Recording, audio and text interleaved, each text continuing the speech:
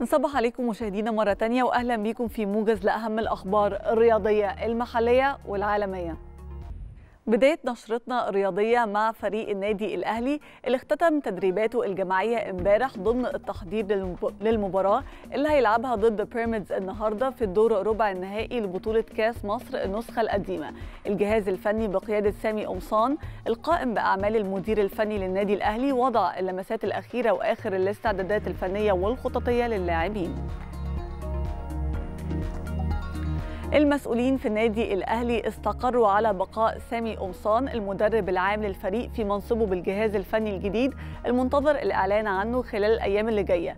مسؤولي النادي الأهلي أكدوا أن قمصان بينتظروا مستقبل واعد في عالم التدريب ويقدر يشكل إضافة قوية للجهاز الفني الجديد المنتظر الإعلان عنه الأيام اللي جاية. قرعة دور ال 16 لبطولة كاس مصر اللي أجريت امبارح في مقر اتحاد الكورة أسفرت عن مواجهة الأهلي ومصر المقصة. النادي الأهلي اتأهل لدور ال 16 بعد ما فاز على فريق المصري بالسلوم، أما فريق مصر المقصة اتأهل لنفس الدور بعد ما فاز على بني عبيد بنتيجة 2-0 في دور ال 32.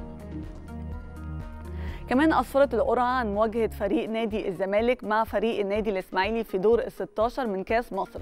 في الوقت نفسه النادي الإسماعيلي أعلن في بيان رسمي انسحابه من بطولة كأس مصر 2022 وقال الإسماعيلي إن مجلس الإدارة بيرفض اللي حصل في قرعة دور ال 16 وقال إنها موجهة لصالح أندية معينة وفقا للبيان.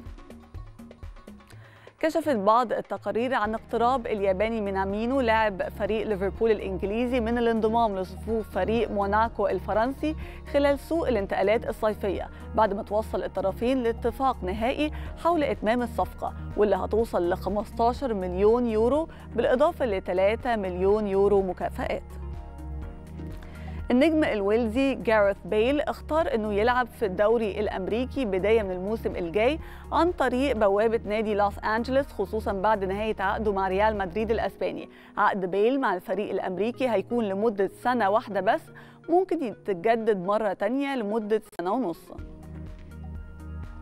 نادي بايرن ميونخ الألماني رفض العرض الثاني اللي تقدم بيه برشلونة الأسباني لضم البولندي روبرت ليفاندوفسكي مهاجم الفريق خلال فترة الانتقالات الصيفية. وأكدت بعض التقارير الأسبانية إن بايرن ميونخ رفض العرض اللي وصل ل 35 مليون يورو بالإضافة لمتغيرات بقيمة 5 مليون يورو. وده لأن البايرن عاوز في الصفقة 50 مليون يورو عشان يتنازل عن اللاعب لصالح برشلونة. الأمريكي تود بولي مالك تشيلسي الإنجليزي رصد ميزانية ضخمة لدعم صفوف الفريق للمنافسة على كل الألقاب الموسم اللي جاي. مالك تشيلسي الجديد بيستعد لدعم الألماني توماس توخل مدرب البلوز ب 200 مليون يورو للمنافسة على كل المسابقات المحلية والأوروبية. وبكده مشاهدينا خلصت أخبارنا الرياضية. دلوقتي هنرجع لشاذلي وهدير عشان يكملوا بقية فقرات صباح الخير. يا مصر شكرا ليكي بنشكرك يا